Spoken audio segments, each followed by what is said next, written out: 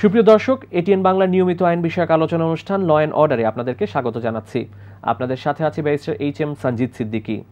আজকে আমাদের আলোচনার বিষয় কারখানায় অগ্নিকাণ্ড ও এর দায়ভার। এই বিষয়টি নিয়ে আলোচনার জন্য আমাদের সাথে স্টুডিওতে রয়েছেন বাংলাদেশ সুপ্রিম কোর্টের আইনজীবী অ্যাডভোকেট সৈয়দ কাউসার ইমাম। সৈয়দ কাউসার ইমাম আপনাকে আমাদের অনুষ্ঠানে আমন্ত্রণ জানাচ্ছি। ধন্যবাদ। প্রিয় দর্শক সম্প্রতি নারায়ণগঞ্জের রূপগঞ্জে হাশেম ফুডস অ্যান্ড বেভারেজ লিমিটেডের কারখানায় এক ভয়াবহ অগ্নিকাণ্ডে বাউন্ন জন শ্রমিক মৃত্যুবরণ করেছে। কলকারখানায় অগ্নিকাণ্ড কিন্তু নিয়মিত ঘটছেই। এই মৃত্যুর দায়ভার কারা বহন করবে? এই বিষয়গুলো নিয়েই আজকে আমরা আলোচনা করব। জনাব কাউসার, প্রথমেই আপনার কাছে জানতে চাচ্ছি, একটি ফ্যাক্টরি বা কলকারখানায় যথাযথ অগ্নি নির্বাপক ব্যবস্থা রয়েছে কিনা? এই বিষয়টি নিশ্চিত করার জন্য দায়িত্ব কোন সংস্থার? আপনাকে ধন্যবাদ। এ বিষয়ে সমসাময়িক যে পরিস্থিতি বা প্রেক্ষাপট তা বিবেচনায় নিয়ে বিবেচনায় নিয়ে আমরা যেটা বলতে পারি আমাদের বাংলাদেশের যে শ্রম আইন দুই ছয় তার সেকশন সিক্সটি টুতে এবং পরবর্তীতে দুই হাজার পনেরোতে যে বিধিমালা হয়েছে সেই বিধিমালার ফিফটি ফোরেও বিশদভাবে এ ব্যাপারে বর্ণনা করা হয়েছে। আমাদের দেশের যে কলকারখানা প্রতিষ্ঠান এসব ক্ষেত্রে আইনে সম্পূর্ণ সুস্পষ্টভাবে নির্দেশনা দেওয়া হয়েছে যে পর্যাপ্ত পরিমাণে অগ্নি নির্বাপন সরঞ্জাম সরবরাহ করতে হবে। জি। এবং এটি তদারকির দায়িত্ব কার? অগ্নি প্রতিরোধ ও নির্বাপন আইন দুই তিন। এমন একটি আইন আছে। এখানেও একটি অগ্নি অগ্নি নির্বাপন অধিদপ্তর নামে একটি অধিদপ্তর থাকার কথা এবং এখানে একজন মহাপরিচালক থাকবেন। জি। এই অধিদপ্তরও এই বিষয়ে তদারকি করবেন। অধিদপ্তর কি ইতিমধ্যে প্রতিষ্ঠা হয়েছে? ও অধিদপ্তর ইতিমধ্যে প্রতিষ্ঠা হয়েছেন। কিন্তু তাদের কার্যাবলী বা তারা কতটুকু কার্যকর পদক্ষেপ নিচ্ছেন সে ব্যাপারে প্রশ্ন থেকে যায়। এখন কলকারখানা প্রতিষ্ঠান পরিদর্শন অধিদপ্তর ওনাদেরও কিন্তু যথেষ্ট দায়িত্ব রয়েছে এই ব্যাপারে। জি। ওনারা সময় সময় পরিদর্শন করবেন তাদের কাজে কিন্তু পরিদর্শন করা। এবং এই ব্যাপারে যে আমরা ওই বিষয়টিতে আসছি শ্রম আইনে ফ্যাক্টরি বা একটি কলকারখানায় কি কি ধরনের অগ্নি নির্বাপক সরঞ্জাম রাখা কথা বলা হয়েছে? জি। এই ক্ষেত্রে শ্রম আইনে সেকশন সিক্সটি টুতে জি। এবং আমি যেটা পূর্বেই বলেছিলাম যে ধারা বিধিমালার বিধিমালা রয়েছে 54 2015 হ্যাঁ, সালের বিধিমালা। বিধিমালার ফিফটি ফোরে বিস্তারিতভাবে বলা হয়েছে। বিভিন্ন ধরনের সরঞ্জাম যেগুলো আপনার ফায়ার ফাইটিং অ্যাক্সেসরিজ রয়েছে সেগুলো কিন্তু ইনস্টল থাকার কথা। আপনার একটা বিধি আইনে যেভাবে বলা আছে যে একটি প্রতিষ্ঠানে বা কারখানায় এখানে পর্যাপ্ত পরিমাণ আলো বাতাস চলাচলের ব্যবস্থা থাকবে। এবং ইমার্জেন্সি এক্সিট থাকবে। বহির্গমনের জন্য যে কোনো দুর্ঘটনা ঘটলে বা অগ্নিকাণ্ড হলে যেন বহির্গমনের জন্য আমরা কিন্তু অনেক ফ্যাক্টরিতেই দেখি যে এই যে জরুরি বহির্গমনের যে পথটি এটি ব্লক করে রাখা হয় বা এটি বন্ধ রাখা হয়। ব- বন্ধ রাখা হয়। তাদের বিরুদ্ধে কি কি আইনগত ব্যবস্থা নেওয়া যেতে পারে? সেক্ষেত্রে কিন্তু এটি কিন্তু বন্ধ করে রাখাটা সম্পূর্ণই আইন পরিপন্থী। আইনে বলা আছে যে এই পথ বন্ধ রাখা যাবে না। ইমার্জেন্সি সিঁড়ি থাকবে বহির্গমনের পথ থাকবে যেন দুর্ঘটনার মুহূর্তে শ্রমিকরা জীবন রক্ষার্থে তারা তড়িৎ কোনো একটা ব্যবস্থা নিতে পারেন। জি। সেক্ষেত্রে কিছু অ্যাক্সেসরিজের কথা যেটা বলছিলাম জি। ফায়ার সরঞ্জামের যন্ত্রপাতি যেটি রাখা উচিত। জি জি। অগ্নি নির্বাপক যে সর- সরঞ্জামগুলো থাকবে তার মধ্যে ফায়ার এক্সটিংগুইশার থাকতে হবে সেটা তো কমনলি আমরা দেখছি ম্যাক্সিমাম বিল্ডিংয়েই থাকে। জি। এটা থাকতে হবে। এছাড়া আরও ফায়ার হাইড্রেন্ট থাকতে পারে। জি। ফায়ার স্প্রিংকলার থাকতে পারে। এগুলা স্বয়ংক্রিয়ভাবে যেগুলা অগ্নি অগ্নিকাণ্ড যদি ঘটে স্বয়ংক্রিয়ভাবে ওয়াটার স্প্রেইং এর কাজটা করবে। এবং আমরা বাইরের দেশে অনেক সময় ফায়ার অ্যালার্ম দেখি যেটা alarm আমাদের দেশে ওভাবে প্রচলিত প্রচলিত না এটা আইনেও বলা আছে এই ক্ষেত্রে এই বিধানটাতে সেকশন সিক্সটি টুতে বলা আছে যে এটা একটা সাইরেন থাকবে জি। বা একটা হুঁশিয়ারি সংকেত থাকবে যেন এই ধরনের দুর্ঘটনার ক্ষেত্রে ফায়ার অ্যালার্ম বা স্মোক অ্যালার্ম জি। আগে থেকেই সংকেত দিতে পারে। এবং বাইরে থেকে দরজা লাগানো থাকবে না। এটা যেন দরজা যদি কোনো কারণে লাগানো থাকে বাইরে থেকে যেন খোলার ব্যবস্থা করা যায় এবং ভেতরে যারা কাজ করবেন তারা যেন দরজা খুলে বাইরে আসতে পারেন।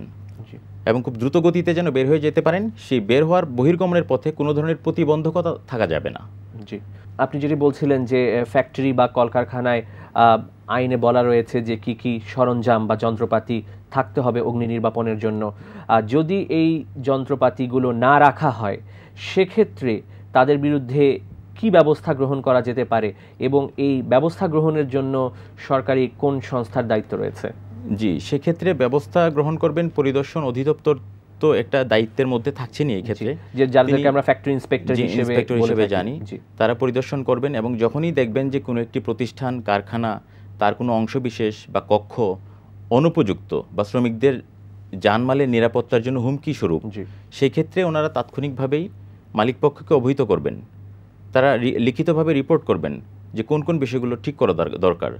তারা যদি যথাযথ সময়ের মধ্যে পদক্ষেপ না নেন এবং ওগুলো সংরক্ষণ না করেন ওগুলো সংস্কার না করেন সেক্ষেত্রে ওনারা চাইলে পরিদর্শন অধিদপ্তর বা পরিদর্শক ওনারা চাইলে ওই কাজ বা ওই প্রতিষ্ঠানের অংশবিশেষ যেটা ঝুঁকিপূর্ণ মনে হচ্ছে সেটা বন্ধ রাখতে পারেন। জি এখানে কি আইনে কোনো যারা শ্রমিক রয়েছে তাদের অগ্নিকাণ্ডের সময় তারা কীভাবে এই ফ্যাক্টরি থেকে বাইরে বের হয়ে যাবে বা কীভাবে আগুনটা নিয়ন্ত্রণে আনতে হবে এই বিষয়ে কি কোনো ট্রেনিং এর এখানে- কথা বলা হয়েছে আইনে? জি এখানে আপনি ওই যে আইনটা আছে আমাদের শ্রম আইন জি। দুই হাজার ছয় সেখানে সেকশন সিক্সটি টুতে বাষট্টি ধারায় বলা বাষট্টি ধারায় পরিষ্কারভাবেই বলা। আছে যে এখানে তারা আগুন বছরে অন্তত কোনো একটি প্রতিষ্ঠানে যদি পঞ্চাশ জনের অধিক শ্রমিক কর্মরত থাকে সেক্ষেত্রে বছরে একবার অন্তত একটি অগ্নি নির্বাপন মহড়ার আয়োজন করবেন। একটি মহড়ার আয়োজন করতে হবে যেখানে শ্রমিকদেরকে মিনিমাম প্রশিক্ষণটা দেওয়া হবে যে আগুন লাগলে তাৎক্ষণিকভাবে অগ্নিকাণ্ড হলে তাৎক্ষণিকভাবে তারা কীভাবে হ্যাঁ, কীভাবে তাদেরকে রক্ষা করবে সুরক্ষার জন্য তারা কীভাবে রক্ষা করবে এবং তার যে কলিগ রয়েছে তাকে কীভাবে কীভাবে রক্ষা করবে তারা যেন দ্রুত বের হয়ে যেতে পারেন কোনো ধরনের দুর্ঘটনা না ঘটে। এমনকি আপনার যে বিধিমালা রয়েছে সেখানে কিন্তু ওগুলো বলা আছে যে এই বের হওয়ার যে রাস্তাটা ওটা কতটা প্রশস্ত হবে? এটা one point one five metre প্রশস্ত হতে হবে। এটার যে হাইটস কতটুকু থাকবে উচ্চতা কতটুকু থাকবে ওই পথে উপর থেকে ফ্লোর পর্যন্ত ওগুলো বলা আছে। এই ক্ষেত্রে পরিষ্কারভাবে আইনে বলে দেয়া আছে যে এখানে ভিতরে যে দরজা জানালাগুলো থাকবে ওগুলোতে লাল কালি দিয়ে বা রেড রেড কিছু ইন্ডিকেশনস থাকবে বলা থাকবে যে এটা বিপজ্জনক বা এদিকে বের হতে হবে এই ধরনের কিছু ইন্ডিকেশনস থাকবে। জি। আর অ্যাক্সেসরিজের ব্যাপারে ফায়ার ফাইটিং যে অ্যাক্সেসরিজ বিভিন্ন ধরনের অ্যাক্সেসরিজ সংরক্ষণে রাখতে পারে। শুধু বলা আছে সব ধরনের সরঞ্জাম কর্তৃপক্ষ বা মালিকপক্ষ সরবরাহ করবেন। সেখানে যদি স্পেসিফাই করে বলা নাও থাকে এখন বিভিন্ন ধরনের সরঞ্জাম আছে। অগ্নিকাণ্ড প্রতিহত করার জন্য প্রতিরোধ করার জন্য বিভিন্ন ধরনের অ্যাক্সেসরিজ আছে। সরঞ্জাম বের হয়েছে সরঞ্জাম বের হয়েছে। তার মধ্যে বিশেষভাবে যেমন ধরেন ফায়ার স্যুট আছে। জি। এটা খুবই প্রোটেকশন দেয় এরকম দুর্যোগময় মুহূর্তে। তারপরে অক্সিজেন মাস্ক আছে। অক্সিজেন মাস্ক আমি যতটুকু জানি যে এটা দুই ঘণ্টা পর্যন্ত একজন শ্রমিক যদি এটা ব্যবহার করে ওই প্রয়োজনে তাৎক্ষণিকভাবে দুই ঘণ্টা পর্যন্ত তার অক্সিজেন সরবরাহ করতে অক্সিজেন সরবরাহ করবে এবং যে ক্ষেত্রে আমরা প্রতিনিয়ত দেখছি যে কোনো একটা অগ্নিকাণ্ড হলে যেখানে শ্বাসনালী পুড়ে যাওয়ার কারণে শ্রমিকের মৃত্যুটা বেশি হয়। শ্রম আইন অনুযায়ী যদি কোনো শ্রমিক অগ্নিকাণ্ড বা অন্য কোনো দুর্ঘটনায় মৃত্যুবরণ করে তাহলে তাকে কত টাকা ক্ষতিপূরণ দেবার কথা আইনে বলা হয়েছে? শ্রম আইন দুই হাজার ছয়ে যে সর্বশেষ অ্যামেন্ডমেন্ট যেটা সেখানে দু হাজার আঠারো সালে যে সর্বশেষ অ্যামেন্ডমেন্ট হয়েছে সংশোধন হয়েছে সেখানে ক্ষতিপূরণটা আগে এক লাখ টাকা ছিল যদি কোনো শ্রমিক যে কোনো দুর্ঘট- দুর্ঘটনার শিকার হয়ে মারা যায় মৃত্যুবরণ করেন তাকে দুই লক্ষ টাকা ক্ষতিপূরণ দিতে হবে। জি এই দুই লক্ষ টাকা কি আপনি যথেষ্ট বলে মনে করেন? এই দুই লক্ষ টাকা আমি অবশ্যই বলব যে এটা অপ্রতুল। এটা পর্যাপ্ত। না। বলা যাবে পর্যাপ্ত অবশ্যই বলা যাবে না। কারণ মানুষ তো কাজ করে একজন শ্রমিক কাজ করে জীবন রক্ষার জন্য। জীবিকার জন্য। জীবিকার জন্য। জীবন উৎসর্গ করে দেওয়ার জন্য তো কেউ কাজ করে না। তো সেক্ষেত্রে সবার আগে তার জীবনটাই বেশি প্রায়োরিটি পাওয়ার কথা। জীবনের আমাদেরকে মনে রাখতে হবে যে প্রত্যেকটি জীবন মূল্যবান। মূল্যবান। এবং এই মূল্যবান জীবনকে আমরা যদি সুরক্ষা দিতে চাই এই দুই লক্ষ দুই লক্ষ টাকা যেটি আইনে ক্ষতিপূরণ হিসেবে বলা রয়েছে এটি পর্যাপ্ত বলা এটি। পর্যাপ্ত বলা যাচ্ছে না। আর এই কারণেই হয়তো বা রিসেন্টলিও যে ঘটনাটা ঘটেছে আমরা যেটা জানি নারায়ণগঞ্জে যার ফলে বিভিন্ন সংস্থার বেসরকারি সংস্থা বা এনজিও ওনারা কিন্তু উচ্চ আদালতের দ্বারস্থ হয়েছেন ক্ষতিপূরণ বাড়িয়ে নেওয়ার জন্য পর্যাপ্ত আইন যদি কয়েকটি প্রতিষ্ঠান রিট রিট ফাইল করেছেন এবং আদালত বিষয়টিকে পর্যবেক্ষণেও রাখছেন। জি। এখন যদি আইনে যদি ক্ষতিপূরণ পর্যাপ্ত থাকতো তাহলে হয়তো বা আমাদের আইনের দ্বারস্থ হতে হতো না। এবং একটা মানুষের জীবনের প্রয়োজনে বা তা সে যখন থাকবে না হ্যাঁ, দুই লক্ষ দুই লক্ষ টাকা তার পরিবারের জন্য সে হয়তো একমাত্র উপার্জনক্ষম ব্যক্তি ছিলেন। তার উপর ডিপেন্ড করে হয়তো বা তার পরিবার নির্ভর করত। দুই লক্ষ টাকা এখনকার সময়ে এটি কোনোভাবেই তাহলে আপনি বলছেন যে ক্ষতিপূরণের পরিমাণটি আহ, সংশোধন করা প্রয়োজন। এই জায়গাটিতে একটু রিফরমেশন দরকার আমি মনে করছি। যদি কোনো শ্রমিক অগ্নিকাণ্ডে বা দুর্ঘটনায় আহত হন সেক্ষেত্রে তাকে কত টাকা ক্ষতিপূরণের কথা আইনে বলা হয়েছে? সেক্ষেত্রে আমাদের শ্রম আইন দুই হাজার ছয়ে পূর্বে যে বিধানটি ছিল বা আঘাতপ্রাপ্ত হয়ে থাকেন। জি জি। সেক্ষেত্রে স্থায়ীভাবে যদি স্থায়ীভাবে যদি তিনি বিকলাঙ্গ বা ডিসেবল হয়ে যান তাকে আড়াই লক্ষ টাকা দেওয়ার কথা বলা রয়েছে। সেটিও আমার মতে পর্যাপ্ত না। এটিও একটু সংশোধনী এখানেও একটু সংশোধনী আমার মনে হয় দরকার। কারণ এটা এই আইনটা এমনিতেই সংশোধন কিছুদিন পরপরই প্রয়োজন পরিস্থিতি সাপেক্ষে সংশোধন করতে হয় এবং কয়েকবার হচ্ছে। তো সেটা আজকে থেকে কয়েক বছর পরে হয়তো বা এই অ্যামাউন্টটাও অনেক অল্প মনে হবে। রূপগঞ্জের হাশেম ফুডস ফ্যাক্টরিতে যে বাউন্ন জন শ্রমিক নিহত হলো বা মৃত্যুবরণ করল, তাদের অনেকের মধ্যেই শিশু বা কিশোর শ্রমিক ছিলেন। শ্রম আইন দুই হাজার ছয়ে, শিশু শ্রমিক এবং কিশোর শ্রমিক বলতে কাদেরকে বোঝানো হয়েছে? বা আমি যদি আরেকটু স্পষ্টভাবে আপনার কাছে জানতে চাচ্ছি যে আঠেরো বছরের নিচে কোনো ব্যক্তিকে কোনো কলকারখানায় বা ফ্যাক্টরিতে চাকরি দেবার সুযোগ রয়েছে কিনা? শ্রম আইনে যে শিশু সংক্রান্ত বিধান রয়েছে এখানে একটা সংশোধনীতে সর্বশেষ সংশোধনীতে এসছে যে শিশু বলতে যিনি মূলত চোদ্দ বছর চোদ্দ বছরের অনূর্ধ্ব যিনি একজন ব্যক্তি তাকে শিশু হিসাবে গণ্য করতে হবে। যদিও অন্য আইনে শিশু আঠারো বছর পর্যন্ত শিশু শিশু আইনে শিশু আইনে। সা- 18 জি। বছর পর্যন্ত এই আইনে স্পেসিফিক্যালি বলা আছে যে চোদ্দ বছরের অনূ- অনূর্ধ্ব কোনো ব্যক্তি তিনি শিশু হিসেবে গণ্য হবেন এবং শিশু আইন সম্পূর্ণভাবে নিষিদ্ধ। দণ্ডনীয় নিষিদ্ধ। এছাড়া চোদ্দ থেকে আঠারো বছর পর্যন্ত যে ব্যক্তি চোদ্দ আঠারো অনূর্ধ্ব আঠারো বছর পর্যন্ত একজন ব্যক্তি তিনি কিশোর হিসেবে এই আইনে তাকে গণ্য করা হবে। এবং একজন কিশোরকে হালকা কাজে নিয়োগ করা যাবে। শিশু বলতে আমরা বলছি যারা চোদ্দ বছরের কম বয়সী ব্যক্তিরা রয়েছে চোদ্দ বছরের কম বয়সী। এখানে আমি একটু যদি অ্যাড করি এখানে যে এখানেও একটু গ্যাপ রয়ে গেছে আমার মনে হয় যেখানে যে শাস্তির ব্যবস্থাটা কোনো শিশু আমরা প্রতিনিয়তই দেখছি শিশুদেরকে শ্রমে নিয়োজিত করা হচ্ছে তারপরেও। কোনো শিশুকে কর্মে নিয়োজিত করলে যে দণ্ডের ব্যবস্থা সেটা পাঁচ হাজার টাকা মাত্র। সেটা আমার কাছে মনে হয়েছে এখানেও অপ্রতুলতা রয়েছে। এবং এটা অনেকের জন্য অনেক শিল্প প্রতিষ্ঠান কারখানার জন্য খুবই কম অ্যামাউন্ট তো এই অ্যামাউন্টটাও আমার মনে হয় আরও বেশি হওয়া দরকার ছিল। এই যে সাম্প্রতিক সময়ে যে ঘটনাটা ঘটেছে এখানে একটি বিষয় লক্ষণীয় সেটি হচ্ছে এই ফ্যাক্টরির তৃতীয় তলায় একটি ফ্লোরেই শুধু আটচল্লিশ জনের লাশ উদ্ধার করা হয়েছে। এক্ষেত্রে একটি বিষয় প্রতীয়মান যে জরুরি বহির্গমনের যে পথটি ছিল, এটি হয়তোবা ব্লক বা বন্ধ করা ছিল। এই যে অবহেলা বা এই যে অমানবিক আচরণ শ্রমিকদের প্রতি এটির শেষ কোথায়? এটি আসলে খুবই হতাশাজনক দুঃখজনক। আমরা প্রতিনিয়ত এরকম ঘটনা ঘটছে দেখছি। দুর্ঘটনা পৃথিবীর সব দেশেই ঘটতে পারে কিন্তু এত ঘন ঘন দুর্ঘটনা ঘটাটার পেছনে আসলে অনেক ধরনের অবহেলা আইনের লঙ্ঘন। এটি কিন্তু একটা চরম অমানবিক আচরণের মধ্যে আমরা ধরতে পারি এটিকে। যেটা which is a breach of fundamental human rights fundamental human rights জি। তো এই ক্ষেত্রে এখানে তো সর্বোপরি আমরা তো বিল্ডিং কোড অনুসরণ করি না। একটি ভবন নির্মাণের ক্ষেত্রে যে বিল্ডিং কোড রয়েছে সেটা কিন্তু আমরা অনুসরণ করি না ঠিকমতো বিল্ডিং কোড অনুসরণ করলে অনেকগুলো দুর্ঘটনা প্রতিহত করা সম্ভব প্রিভেন্ট করা সম্ভব। এবং আমরা যে আইনের যে বিধিবিধান রয়েছে যেসব সরঞ্জাম সরবরাহ করার কথা বা যেভাবে বলা হয়েছে যে দরজা ব্লক করে রাখা যাবে না কোনো গেট তালাবদ্ধ করে রাখা যাবে না তাদের চলাচলের পথ সবসময় সুগম থাকবে হ্যাঁ এবং বাধাহীন থাকবে। এই বিষয়গুলোর ক্ষেত্রে আমার মনে হয় নজরদারির অভাব অনিয়ম অবহেলা জড়িত। এবং এটা এই দায়ভার কিন্তু অনেক অনেককে নিতে হবে। এটা এককভাবে কোনো সংস্থা বা কোনো ব্যক্তির উপর বর্তাবে না।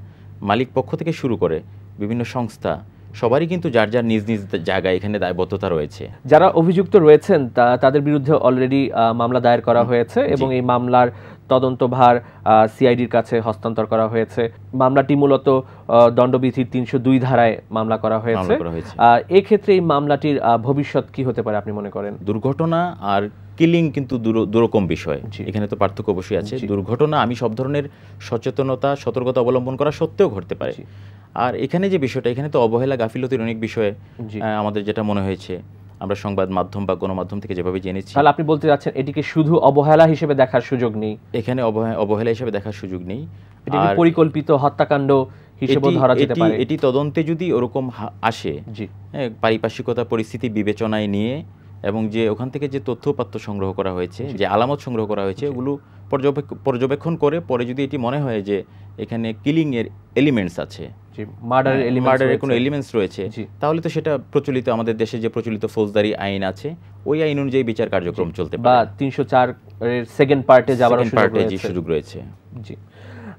দুই হাজার দশ সালের নিমতলি ট্র্যাজেডি থেকে যদি আমরা শুরু করি দুই হাজার বারো সালে আশুলিয়ার তাজরিন ফ্যাশনসে অগ্নিকাণ্ড, তারপরে আমরা দেখেছি দুই হাজার উনিশ সালে চকবাজারে রাসায়নিক পদার্থের যে গুদাম রয়েছে, সেখানে একটি ভয়াবহ অগ্নিকাণ্ডের ঘটনা ঘটেছে এবং আজকের হাসেম ফুডস ফ্যাক্টরিতে যে অগ্নিকাণ্ড প্রায় দশ বছর অতিক্রম হয়ে গিয়েছে। প্রত্যেকটি ঘটনাই কিন্তু আমাদেরকে কিছু না কিছু শিক্ষা দিয়ে যাচ্ছে। কিন্তু আমরা এই শিক্ষা থেকে কবে সতর্ক হব আপনি মনে করেন? আমাদের তো অনেক আগেই আসলে ঘুম ভাঙা উচিত ছিল। আমরা এসব বিষয় থেকে শিক্ষা নিয়ে আরও সচেতন হতে পারতাম। এবং এখন আমার মনে হয় এটা হাই টাইম সতর্কতা অবলম্বন করার। এবং আইনগুলো তো আমাদের পর্যাপ্ত আইন রয়েছে সুস্পষ্ট বিধিমালা রয়েছে। এগুলো যদি সঠিকভাবে আমরা ইমপ্লিমেন্ট করতে পারি প্রয়োগের ক্ষেত্রে যদি কোনো বাধা না থাকে প্রয়োগটা যদি সুষ্ঠুভাবে এক্ষেত্রে কি শুধু দায়িত্ব যিনি বাড়িটি নির্মাণ করছেন বা বাড়িওয়ালার যারা এটি ভাড়া নিচ্ছেন তাদের উপর কি কোনো দায়িত্ব নেই? যে আমি কেন এমন একটি বাসা ভাড়া নিব যেটার নিচে কেমিক্যাল ফ্যাক্টরি করা হয়েছে? এ বিষয়ে সচেতনতা কীভাবে এ বিষয়ে তো ব্যক্তিগতভাবে আমরা তো প্রত্যেকেই যার যার নিজের অবস্থান থেকে সাবধান এবং সচেতন থাকা উচিত। একজন বাড়ির মালিকের যেমন দায়বদ্ধতা থাকে তার যেমন বাইন্ডিংস থাকে এখানে যিনি বাড়ি ভাড়া নেবেন তিনিও কিন্তু সতর্ক থাকবেন। পূর্ব থেকেই তিনি বিষয়টি সম্পর্কে জানবেন দেখবেন বুঝে শুনে বাড়িটা ভাড়া নেবেন।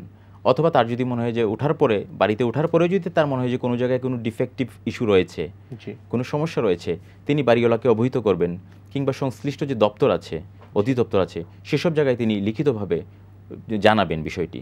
কারণ তিনি তো এখানে শুধু নিজে ঝুঁকির মধ্যে আছেন না। ওই বিল্ডিংয়ে যারা বসবাসরত থাকবেন তারা প্রত্যেকে এখানে ঝুঁকির মধ্যে থাকে। তা আমার মনে হয় প্রত্যেকে নিজ নিজ অবস্থান এবং দায়িত্ব থেকে আমাদেরকে সজাগ এবং সচেতন থাকতে হবে। জি। তাহলেই এই অগ্নি প্রতিরোধ করা সম্ভব অগ্নি প্রতিরোধ করা সম্ভব এবং বিশেষ করে এই অগ্নি প্রতিরোধ ও নির্বাপন সংক্রান্ত আলাদা আইন আছে। আমাদের যে এমনিতে সাধারণ শ্রম আইন আছে সব জায়গায় কিন্তু অগ্নি প্রতিরোধমূলক ব্যবস্থা নেওয়ার জন্য যথেষ্ট জোর দেওয়া হয়েছে। আমাদের এক্ষেত্রে সরকারও যথেষ্ট আন্তরিকতার সাথে চেষ্টা করে যাচ্ছে। কিন্তু আমরা এককভাবে এটা এককভাবে একজন ব্যক্তি বিশেষ ব্যক্তি প্রতিষ্ঠান এটা আমার মনে হয় সমাধান করতে পারবে না। এখানে প্রত্যেকেরই ইনভলভমেন্ট নিজ নিজ জায়গা থেকে সতর্কতা অবলম্বন করতে হবে। এবং শ্রমিকদেরকে প্রশিক্ষণের যে ব্যাপার কারণ আমরা কিন্তু কিছুদিন আগেই এই ঘটনার ঠিক কিছুদিন আগেই মগবাজারে তিতাস গ্যাসে গ্যাসের একটি কানেকশন থেকে একটি দুর্ঘটনা। ঘটেছে। জি জি জি। তো সেই ক্ষেত্রে একটু আগেই যেটা আপনি বলছিলেন যে আমাদের শ্রম আইনে কিন্তু মোহরার ব্যাপার শ্রমিকদেরকে প্রশিক্ষণের ব্যাপার এখানে কিন্তু বলা আছে। সো আমাদের যে শ্রম অধিদপ্তর কলকারখানা পরিদর্শন প্রতিষ্ঠান পরিদর্শন অধিদপ্তর ওনাদের কিন্তু দায়িত্ব থেকে যায় যে শ্রমিকদেরকে প্রশিক্ষিত করে তোলা। তাদেরকে এ ব্যাপারে তাদের মধ্যে অ্যাওয়ারনেস তৈরি করা যেন তারা অন্তত নিজের জীবন রক্ষার জন্য সচেষ্ট থাকতে পারে। সৈয়দ কাউসারি মাম আপনাকে অনেক ধন্যবাদ স্টুডিওতে এসে আমাদেরকে সময় দেওয়ার জন্য। আপনাকেও ধন্যবাদ। সুপ্রিয় দর্শক আমরা অনুষ্ঠানের শেষ পর্যায়ে চলে এসেছি। আপনাদের মূল্যবান মতামত আমাদেরকে চিঠি লিখে জানাতে পারেন এই ঠিকানায়। পরিচালক law and order ATN Bangla, ওয়াসা ভবন, দ্বিতীয় তলা, আটানব্বই কাজী নজরুল ইসলাম অ্যাভিনিউ কারওয়ান বাজার, ঢাকা এক দুই এক পাঁচ। তাছাড়া আমাদের কাছে ইমেইল করতে পারেন L dot order ATN at the rate Gmail dot com আগামী সপ্তাহে আইনের নতুন কোনো বিষয় নিয়ে আপনাদের সামনে উপস্থিত হব। সে পর্যন্ত ভালো থাকুন, খুদা হাফেজ।